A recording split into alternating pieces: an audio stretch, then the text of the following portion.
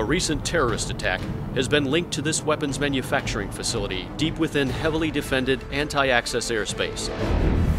An airstrike is ordered to carry out the mission.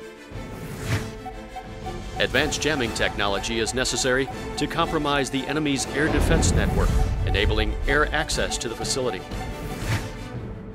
A key component in the system is the Boeing and Northrop Grumman developed Core Component Jammer, capable of disrupting a multitude of radar sites simultaneously, enabling strike aircraft to elude detection by enemy defenses. Two B 52 aircraft carry the full arsenal of jamming systems and weapons to successfully carry out an airborne electronic attack mission. Operational for 50 years, the B 52 has one of the lowest flying hour cost and highest mission capable rates of all bombers. Capable of carrying a large payload, flying long distances at subsonic speeds, and achieving high and low altitudes, this multi-mission aircraft can be anywhere in the world within 12 hours.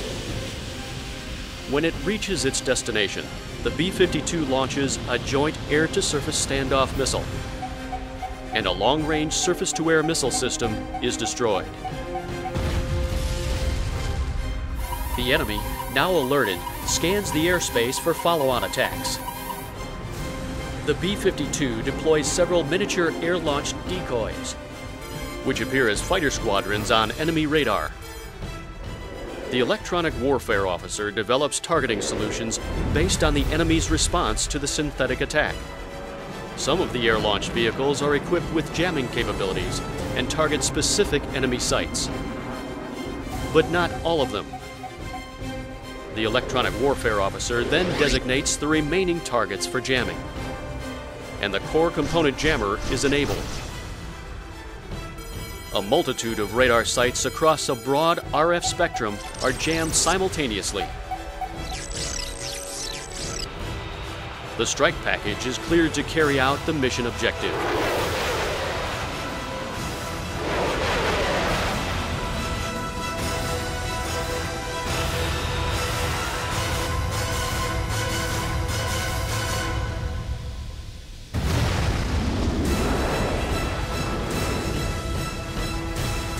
The mission is a success.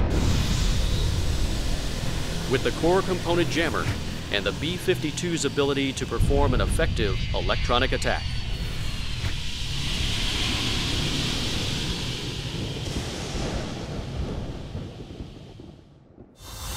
Boeing